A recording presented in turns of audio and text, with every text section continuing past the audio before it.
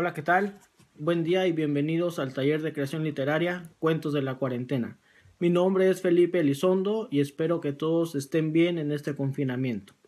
El día de hoy trabajaremos con una actividad de creación literaria para escribir textos sobre un tema en específico. El miedo.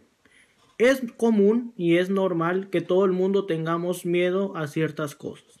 En estos momentos que estamos viviendo de incertidumbre, de no saber qué es lo que va a suceder, lo más común es tener miedo.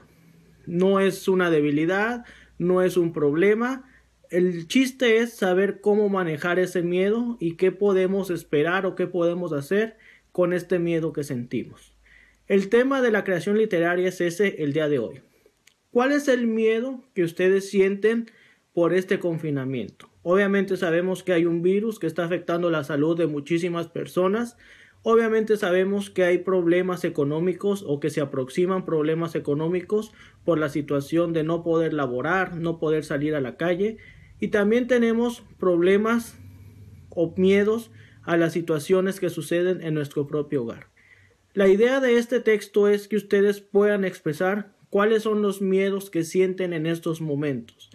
Todo desde un punto de vista literario. Sí, hay que expresar lo que sentimos, pero no solamente se trata de hacer un diario o un anecdotario de cómo nos sentimos y cómo lo vamos a, a expresar.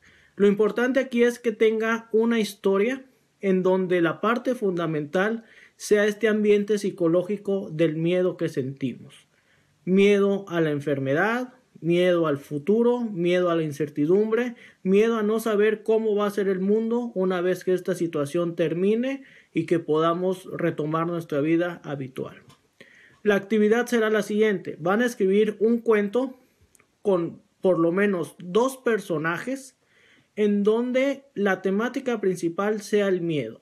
Pueden seleccionar miedo a una sola circunstancia o diferentes miedos que se están manejando en este momento.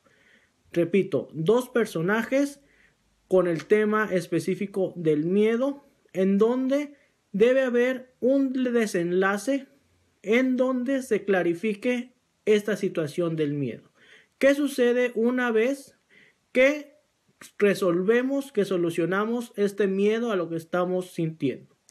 Desde, desde, luego, desde el punto de vista literario, vamos a intentar dar una solución a los miedos que sentimos en estos momentos.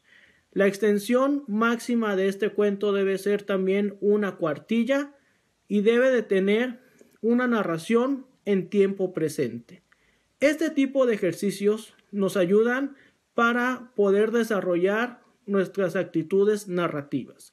Por eso es que pido dos personajes, extensión máxima de una cuartilla y una narración en tiempo presente, que nos vayan contando los miedos, las acciones, tal como van sucediendo en este momento.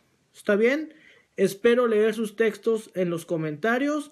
Recuerden que es importante también la lectura de otros textos de las personas que están aportando sus documentos y hacer aportaciones para que se puedan enriquecer desde un aspecto literario. Espero que les vaya muy bien con la actividad de esta sesión. Cualquier duda, estoy también a sus órdenes en los comentarios. Espero que se encuentren muy bien. Nos vemos la próxima sesión. Gobierno de México.